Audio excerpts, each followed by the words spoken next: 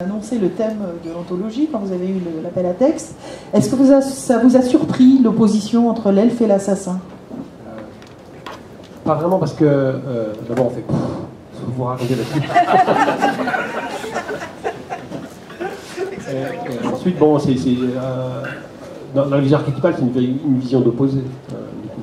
donc, on avait eu Victime et Bourreau, vision d'opposé. On avait eu Reine et Dragon, presque vision d'opposé aussi. Enfin, ce qui est intéressant, évidemment, c'est d'avoir cette, espèce de tension entre deux personnages que tout semble opposer et de les réunir d'une façon ou d'une autre.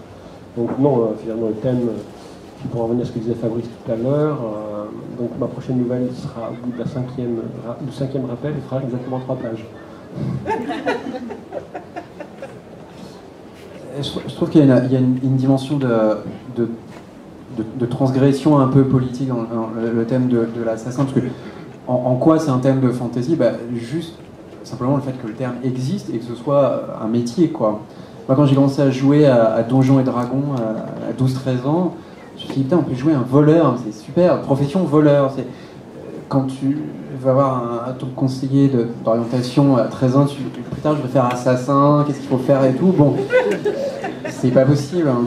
Euh, tu, aurais 12 ans aujourd'hui, tu la même ah, moi, chez moi, dans le 9-3, il y en a. Hein,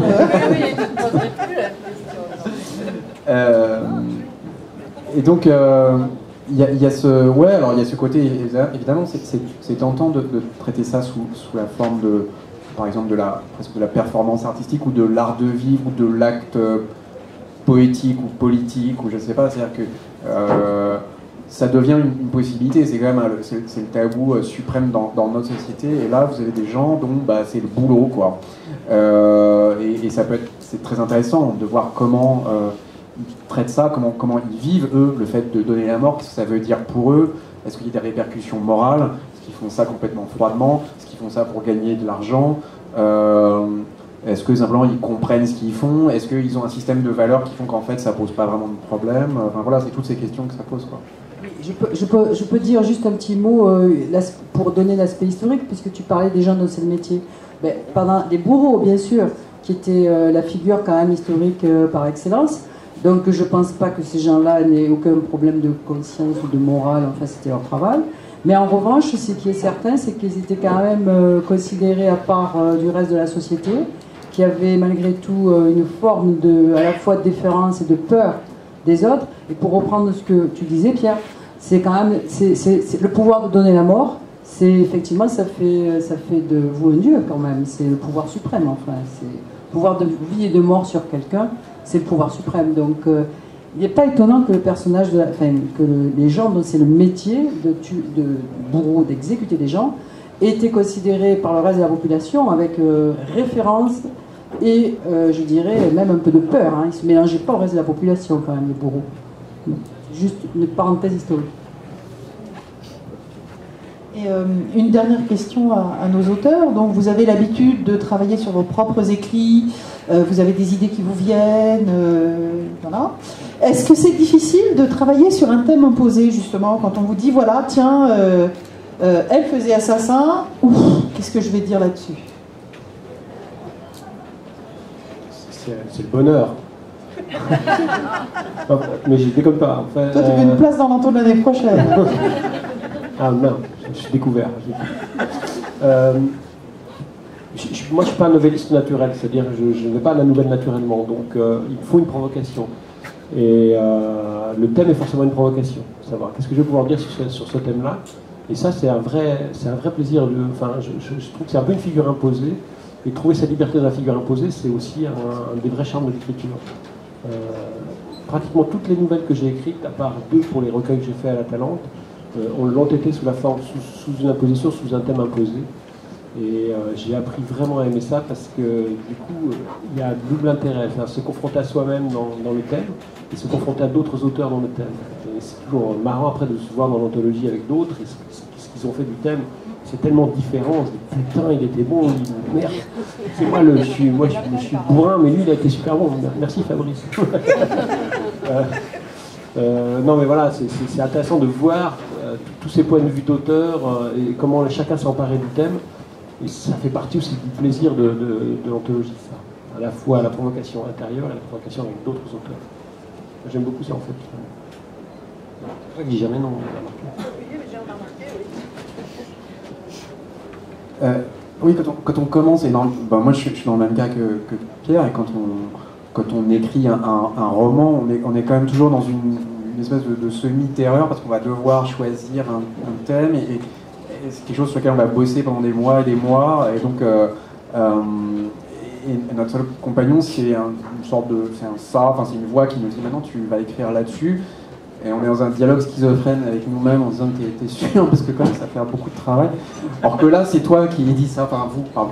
Et euh, donc c'est super agréable effectivement parce que euh, je crois qu'on a ce point commun, on n'aime pas ré- réfléchir. Quand quelqu'un nous dit euh, tu vas écrire là-dessus, d'accord madame. Et en plus sur un thème sur lequel vraiment je oui, jamais j'aurais écrit. Ben moi, je suis dans le Moi, je suis pas j'écris pas de nouvelles. J'écris quand on me le demande. Et euh, je suis toujours. euh, je, rends hommage sans, rire à ta, au mélange de fermeté et de douceur que tu mets pour euh, arriver à obtenir une nouvelle de moi. Je pense que c'est une vraie performance. Et, effectivement, le thème, oui, on se dit. les elfes, ouais, j'aime pas trop ça. Les assassins, ah ouais, d'accord. En fait, non, pas d'accord du tout parce que on ne sait pas ce qui va jaillir de ça et euh, c'est, enfin, on, sait que les contraintes sont, sont, sont d'excellents stimulants euh, pour l'écriture. Donc, quand ça vient de quelqu'un d'autre et quand voilà, ça nous pousse, ça nous pousse dans, des, dans retranchements dans lesquels on ne serait jamais allé sinon. Et euh, c'est contrebalancé par le fait qu'on on n'a pas besoin d'en écrire 600 000 signes non plus, ce qui là pourrait devenir un problème. On se dit d'accord. Enfin, moi, je, prends presque l'appel à texte comme euh, ah bon bah vous l'aurez voulu quoi. Euh, puis on va bien voir ce qu'on va. Moi j'aime beaucoup écrire des nouvelles, euh, je n'en écris pas beaucoup, mais c'est vrai que j'aime bien avoir aussi des contraintes en fait, en termes de durée et en termes de thèmes, c'est bien parce que c'est des thèmes souvent auxquels on n'a pas pensé soi-même. Et puis ça oblige à réfléchir un brin pour trouver un angle d'attaque plus ou moins intéressant, plus ou moins inédit, enfin bon, ça, ouais, c'est vrai que j'aime bien moi, ça, ça, ça oblige à- à-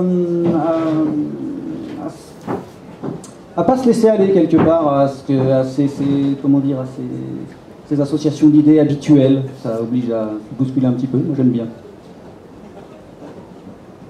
Moi, pareil. J'aime beaucoup écrire sur commande parce que euh, déjà ça élimine tout un tas de, de chemins de traverse euh, dans lesquels je m'engagerais peut-être si de- j'étais libre de faire ce que je veux. Donc là d'entrée, je sais qu'il y a tout un tas de- d'endroits où j'irai pas, d'idées que je vais pas, que je vais éliminer d'entrée. Donc en, fait, ça me canalise dans une direction et ce qui me permet en fait d'écrire euh, beaucoup plus vite. Parce que moi, c'est parce qu'en fait, quand j'écris, je me pose, moi malheureusement, je suis pas dans le jaillissement, je me pose toujours trop de questions. Donc là, quand j'écris sur commande, non, non, c'est moi qui suis conne. Ça me permet justement, quand j'écris sur commande, il y a un thème, ben, au moins comme ça, voilà, c'est fixé, euh, j'ai pas à me poser 36 questions, ci, mettre. Non, non, là c'est bien. Donc, euh, et puis, euh, oui, oui, je trouve, euh, je trouve, pour moi, ça, je trouve ça enrichissant, personnellement. Il y a un bel, euh, bel assentiment collectif concernant euh, la nouvelle et, sa possibilité de défricher de nouveaux, de nouveaux terrains. Ce que nous vous invitons bien sûr à découvrir à travers l'anthologie donc Elves et Assassins, les nouvelles qui nous ont accompagnés. Euh, Fabrice Collin, Pierre Bordage, Raphaël Albert et Rachel Tanner qui vont être en dédicace sous la bulle du livre. Donc on vous invite bien sûr à aller les rencontrer, continuer la discussion. Euh, ils seront en dédicace euh, maintenant et euh, pendant, pendant tout le festival.